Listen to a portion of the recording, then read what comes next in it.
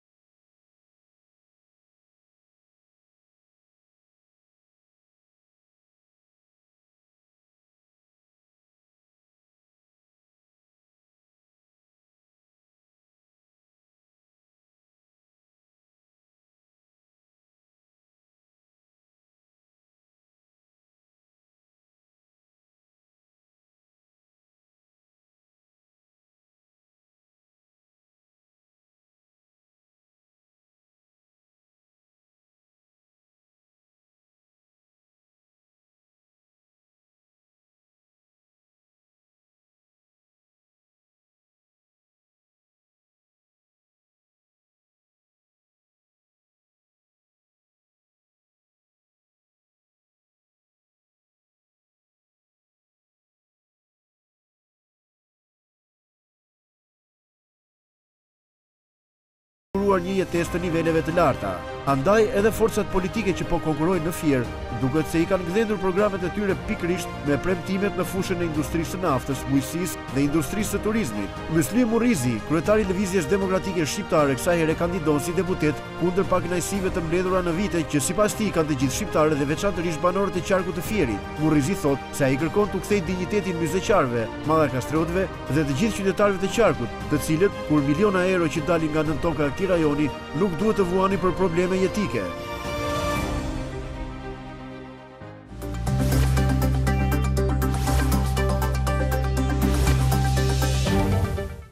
Kur kam qenë në Partinë Demokratike nga dhjetori nëntëdhjetë Myslim Murrizi nuk ka qenë pjesë e administratës prej vitit nëntëdhjetë e gjashtë. Në pushtetin dy mijë e pesë dy mijë e trembëdhjetë nuk i përkas sekserve dhe xhepistëve të administratës në asnjë cep të Republikës së Shqipërisë, por kam qenë në punën time.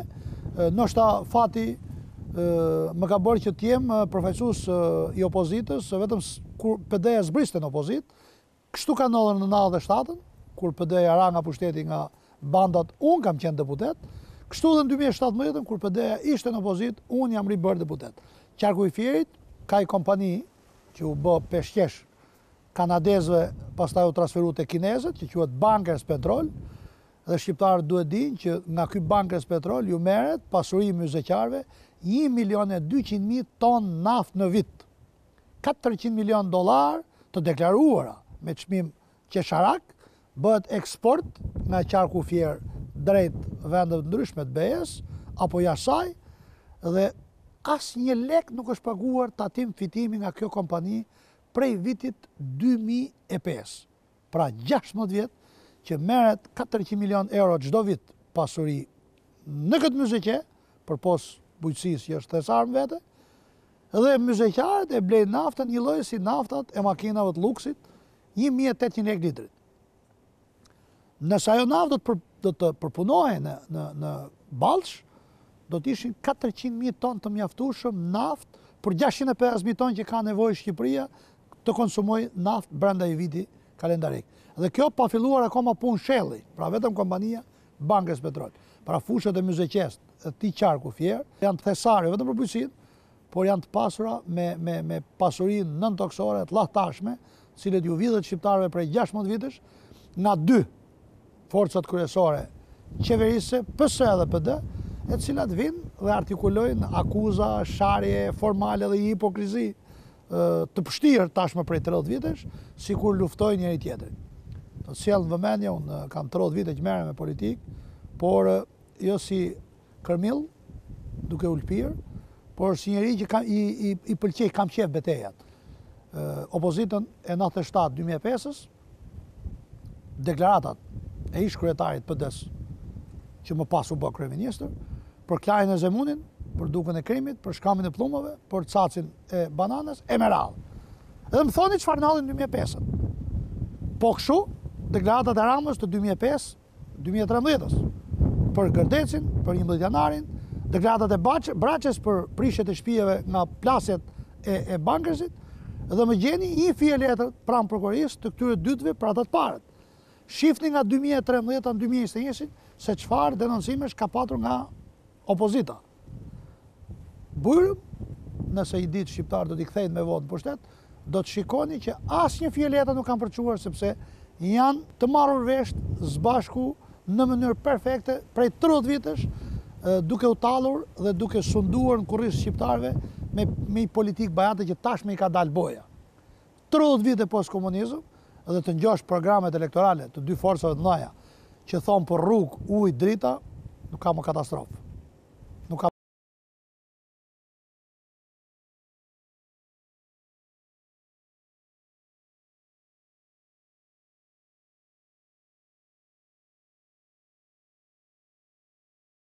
Nga Patosi deputetja Antoneta Dhima e cila garon në këtë qark sërish në listën e Partisë Socialiste, thotë se Partia Socialiste kandidon për mandatin e tretë në këtë qark për të kryer investime të mëdha.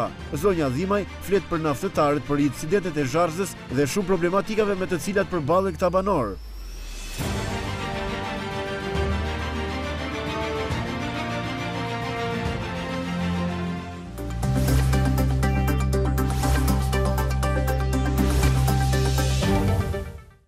Grupi i deputetëve të Qarkut të Fierit, si ai që aktualisht është dhe patjetër edhe lista e deputetëve të cilët garojnë për Qarkun e Fierit për një mandat të tretë qeverisës, është një listë përfaqësimi e denjë sidomos duke krahasuar me kundërshtarët tanë politikë.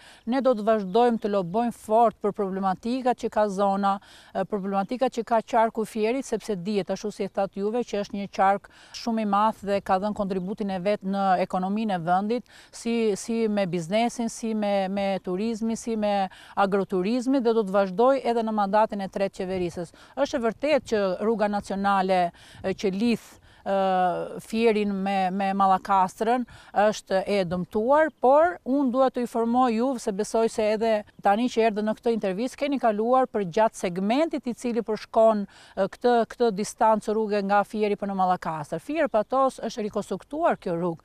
Të shpresojmë dhe të besojmë që në një mandat të tretë qeverisës këto punë që ne nuk i kemi bërë ose këto projekte që ne kemi nisur, patjetër që në mandatin e tretë kemi vullnetin dhe dëshirën për të bërë sa më shumë rrugë, për të investuar sa më shumë shkolla, por patjetër edhe industrinë e naftës. Ne ta vlerësojmë si një nga investimet strategjike, sepse është një nga kontribuesit kryesorë në buxhetin e shtetit. E kemi vlerësuar edhe situatën në uzinën e përpunimit të thellë të naftës, e cila faktikisht ka pas problemet e veta dhe ka qenë vullneti i kësaj qeverie dhe i kryeministrit Rama, i cili ka bërë një zgjidhje që ata të përfitojnë pagën për një vit.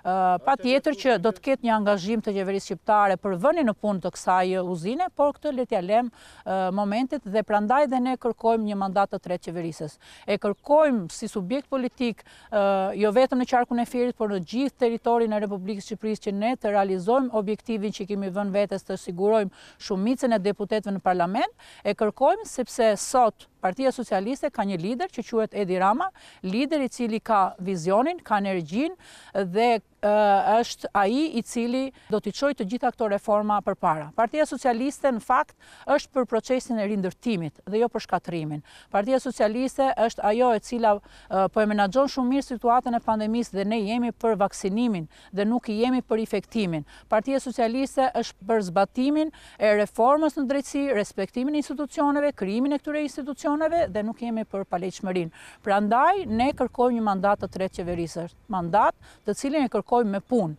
Unë kam qenë deputete thashë për 6 vite në në këtë zonë dhe kam ngritur zërin për problematikat edhe për atë rrugën nacionale që juve sapo e përmendët, edhe për pastrimin e kanaleve kulluese dhe vaditëse, Në zonën që unë mbuloj, jo më larg se para pesë-gjashtë muajsh ka përfunduar pastrimi i kolektorit kryesor që lidh Roskovecin me me Hoxharën, është një kolektor ku kullojnë të gjitha tokat e kësaj zone ku ne jemi vendosur.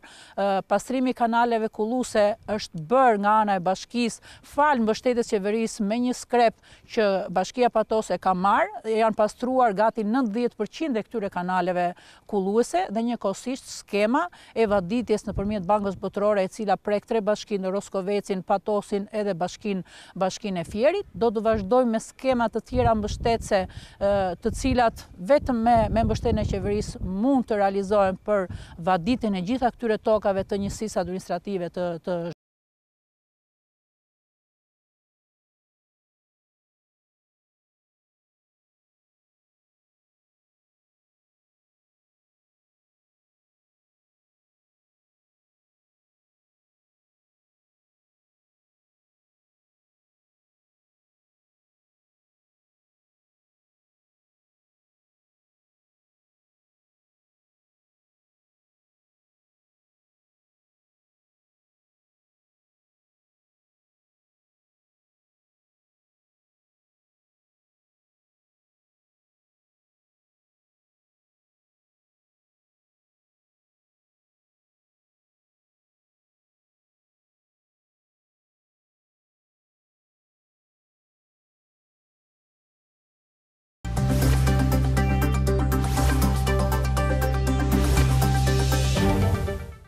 Kjo uzinë dhe industria e naftës ka dhënë aq shumë, aq shumë për këtë për buxhetin e shtetit, sa ne jo vetëm që nuk do të vuanim për rrugë, e nuk do të vuanim edhe për shumë, edhe për anë sociale, por ne duhet të ishim qyteti më i privilegjuar për nga investimet, edhe për shkak të ndotjes, Sepse aty ku dëmtohesh, meriton edhe të zhdëmtohesh. Në një farë mënyre, ai helm që mallakastriotët dhe qytetet e Ballshit, qoftë edhe punonjësit e uzinës, kanë thithu ndër vite, është nuk është se mund ta rikuperosh dhe ta heqësh nga trupi i njeriut, por ama ka mënyra kompensimi që edhe këta njerëz të ndihen mirë dhe të mos ndihen të braktisur, thjesht vetëm ta vjelësh Mallakastrën, për pasuritë që ka dhe të mos i kthesh asgjë mbrapsht.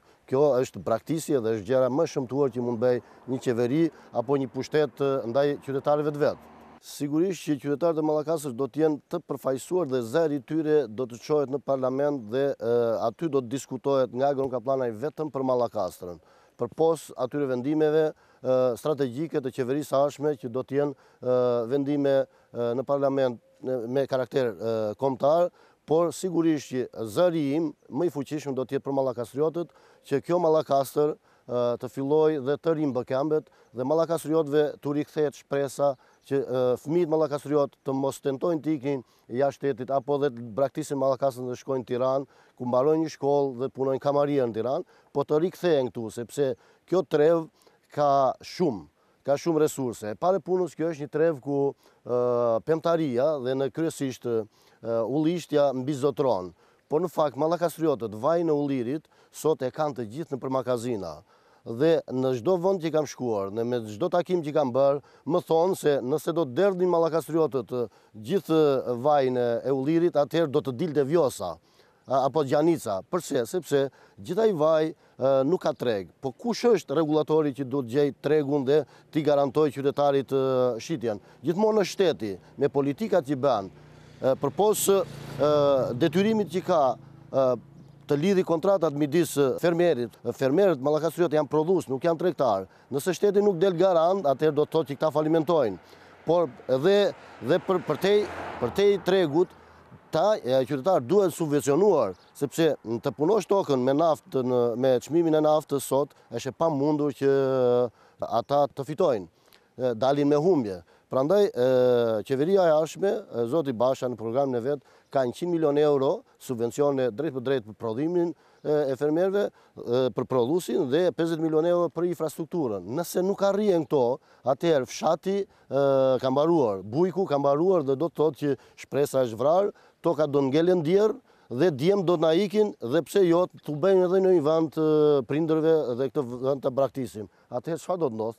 Do të ndodhë ajo që ka premtuar Rama, ta zëvendësojmë, t'i zëvendësojmë qytetarët shqiptarë me qytetarë nga Bangladeshi, meqenëse ata s'flasin shqip, nuk dinë të shajnë, nuk dinë të bëjnë gojë dhe ne shqiptarët të largohemi nga ky vend.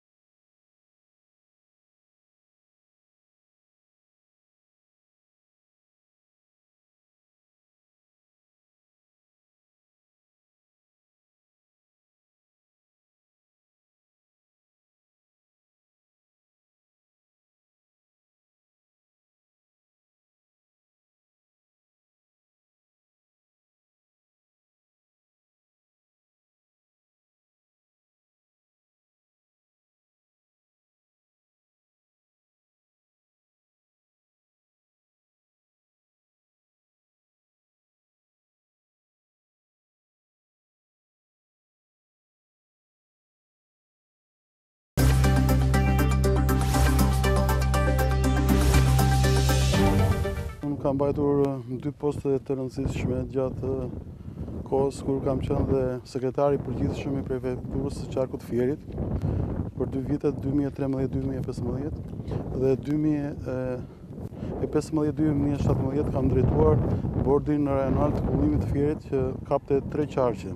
Një nga drejtoritë më të rëndësishme të të vendit tonë. Gjatë kohës kur unë kam qenë drejtues i bordit rajonal Fier, kemi bërë me goxha investime në rehabilitimin e kanalit Vjosë Levan Fier, kanalit ujitës, Kemi bërë rehabilitime në kullim, në zonën e Frakullës, në Apeniçe, në Darzezë, është bërë një punë e konsiderueshme. Një nga problematikat që ju përmendët është dhe fusha e Myzeqesë ka pasur goxha problematika në sistemin e vaditjes. Janë në rreth 6500 hektarë në të gjithë fushën e Myzeqesë, nga të cilat për momentin që flasim sot, Vaditen rreth një mijë e shtatëqind hektarë. Është për të ardhur keq, është për të ardhur keq sepse nuk është bërë asnjë investim dhe për të mbuluar gjithë fusha e myze, gjithë kjo fusha e Libofshës, do të duhet investimi nga bashkia Fier që është stacioni i pompimit në Mujalli, si dhe stacioni i Bitajt, që, të, që mund të mbulojë të gjithë këtë pjesë në vaditje. Por siç dihet nuk është bërë fare investim dhe është e vërtetë që LSI-ja ka një një plan ambicioz dhe një nga pikat e programit është dhe ai i bujqësisë është për farat dhe për inputet bujqësore taksa zero, do të jetë taksa zero. Do të ketë investime, do të thithen investitorë të huaj për të investuar në këtë zonë të begatë, sepse kjo është lënë në harresë. Vota janë prodhuar, janë prodhuar vota nga, nga e quajnë si, si lumë votash këtu, po në të vërtet një pikë ujë s'ia sjellin zonës së Libofshës dhe zonës së Topojës. Realisht këtu Një pjesë e mbulimit është marrë nga kanali Vinjësh, kur dhe financimet janë bërë nga Banka Botërore, kur kam qenë dhe unë drejtori i bordit rajonal. Kështu që tani pothuajse nuk janë bërë investime në këtë drejtim. Problematik është dhe siç thatë dhe unë do të jem kandidat dhe unë do të quhem si Kandidati, meqenëse unë jam dhe fierak dhe lindur dhe rritur në Fier dhe për asnjë moment vetë nuk jam larguar nga qyteti i Fierit, unë do të quhem si deputeti i Libofshës dhe i komun, ish komunës Topojë. Është për të ardhur keq se të gjithë shqiptarët, siç e dimë sot, largohen nga vendi, janë kthyer si Njëzet e pesë tridhjetë vite më parë është fatkeqësi e madhe. Vendi do të zëvendësohet në me, me njerëz të huaj, përse, mos, përse shqiptarët mos ta ndërtojnë jetën në vendin e tyre.